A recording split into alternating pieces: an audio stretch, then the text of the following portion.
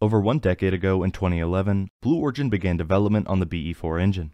Since then, while the engine program most certainly had a few hiccups along the way, Blue Origin continued to develop and test the engine.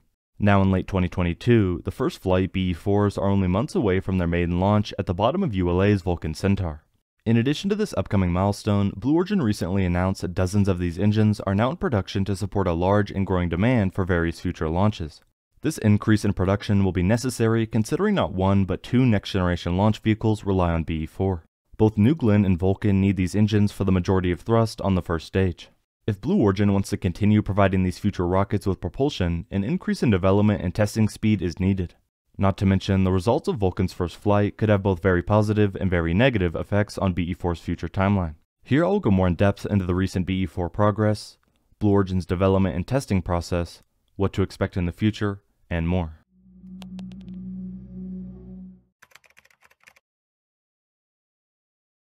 Now more than ever, we are receiving more information on Blue Origin's BE4 engine and some of the progress it has made. Just about one month ago on October 31st, Blue Origin tweeted saying, the first shipset, the first of many. BE4 flight engines are now being integrated into the ULA launch Vulcan rocket. By now in early December, these two flight engines are not only installed on Vulcan, but practically ready for testing. Over the past couple of months, Blue Origin and Tory Bruno provided updates on flight engines number 1 and number 2 as they went through the initial manufacturing and testing process. Over the next few weeks, we can expect more information from ULA as they test both the integrated BE4 engines on Vulcan in preparation for the first launch. If the tests show promising results, then only a few months from now we will watch both these BE4 engines in action for the first time on an official launch. There are two main outcomes of this upcoming mission that will have a big effect on Blue Origin and the future of BE4.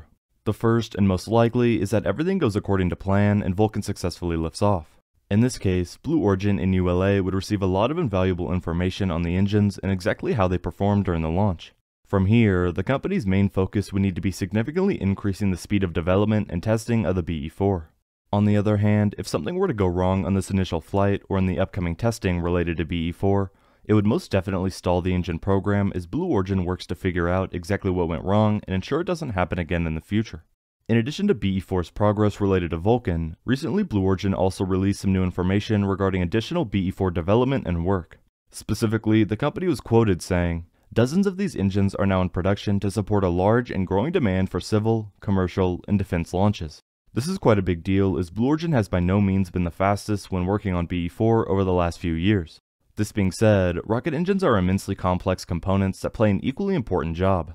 However, this news from the company is a good sign as the development and testing speed of BE4 is one of the main problems that could hurt two future launch vehicles. While Vulcan only needs two BE4s on the first stage, New Glenn requires seven. With Vulcan already practically launching and New Glenn expected to begin testing not too long from now, these engines will be in very high demand. To put the timeline of these two Vulcan Flight BE4s in perspective, we can look back in time to earlier this year and see the amount of progress that was made. For example, back in early June, Tory Bruno tweeted mentioning, The Flight BE4s are in the assembly stand at Blue Origin. Here's a view from the upper platform of one of the pair with the very cool, additively manufactured GOX dome installed. This included an image of one of the bare bones flight engines. At this point in time, Vulcan was still expected to launch in 2022, and Tory Bruno was confident that the engines would be delivered soon.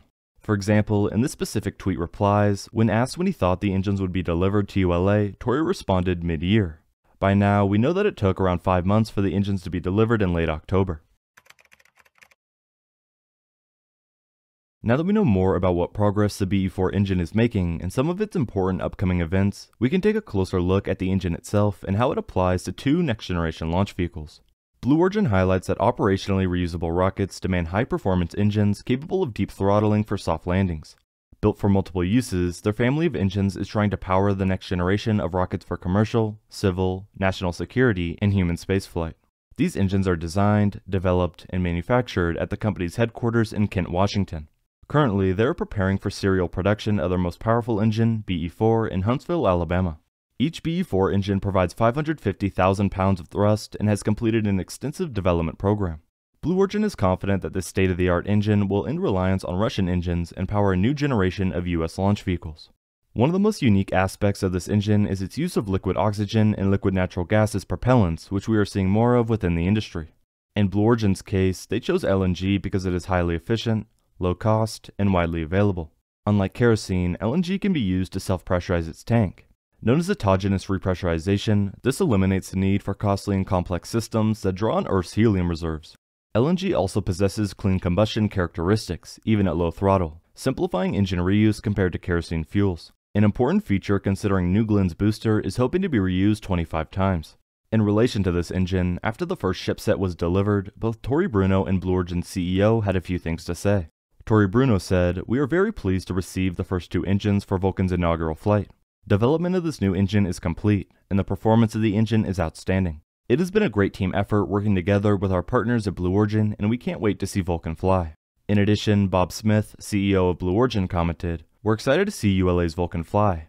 The BE-4 is a great engine, and we're proud of Team Blue for achieving this milestone as part of ULA's team.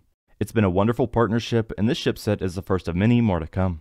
BE-4 was designed from the beginning to be a medium-performing version of a high-performance architecture a conscious design choice made to lower development risk while attempting to meet performance, schedule, and reusability requirements. In terms of future launch vehicles, propulsion technology is foundational to the New Glenn program. New Glenn benefits from more than a decade of engine and related technology development at Blue Origin. For New Glenn's first stage, Blue Origin will use the 2400 KN or 550,000 pound-force of thrust BE4 engine, New Glenn is a single configuration heavy lift launch vehicle with the goal of carrying people and payloads routinely to Earth orbit and beyond. Featuring a reusable first stage built for 25 missions, it will utilize 7 BE-4 engines crucial for main thrust and complex landing maneuvers. The restartable BE-4 engines provide precision thrust vector control and continuous deep throttle capability to support propulsive deceleration and landing maneuvers, while featuring long design life.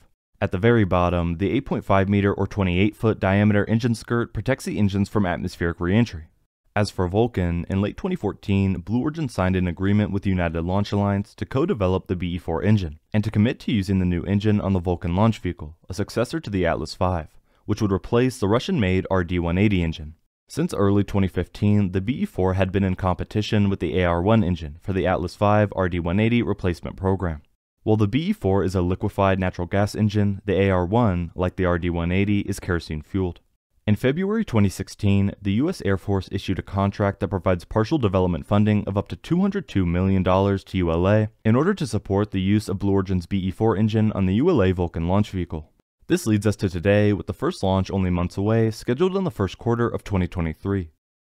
The BE-4 has had many ups and downs over its development beginning in 2011. While there have been quite a few delays, the first two flight engines have been delivered and are installed on Vulcan. Not to mention comments from the company highlighting that they are increasing production. We will have to wait and see how it progresses and the impact it has on the space industry. Thank you very much for watching.